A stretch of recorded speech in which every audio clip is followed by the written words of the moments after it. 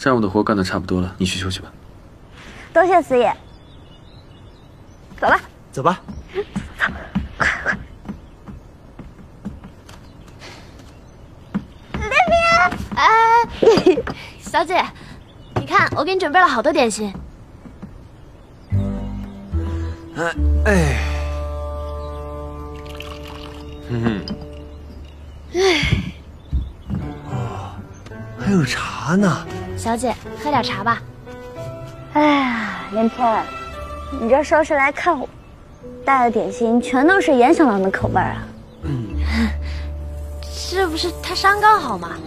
顺便给他带了点顺便带，都是他爱吃的，一个我爱吃的都没有。妈呀，我下次给你多带点，好吗？小姐，你别生气了，别生气了。对了，今儿怎么没瞧见卓公子啊？嗯。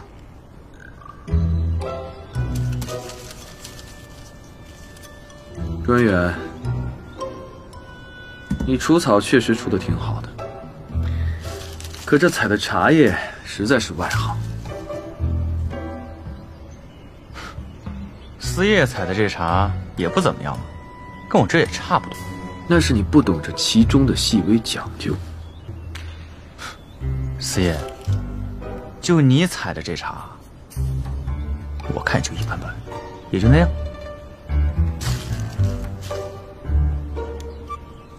采茶当用提采之法，最忌用手指掐断。我采的全都避开了耳叶，便于下一季茶树的冒芽。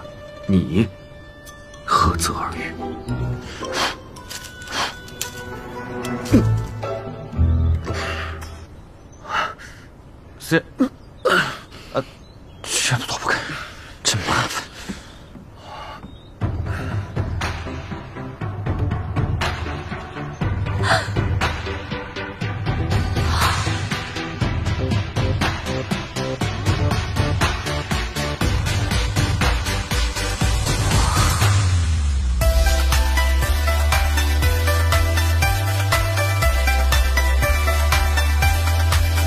我终于知道为什么四爷不娶苏洁雨姑娘，原来是有苦衷的呀！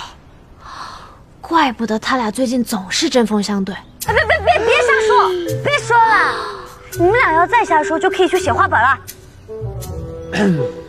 哦，别别，我们去那边逛逛吧。啊，逛逛。嘿嘿，走走走走走。连天，你是来看我的？我。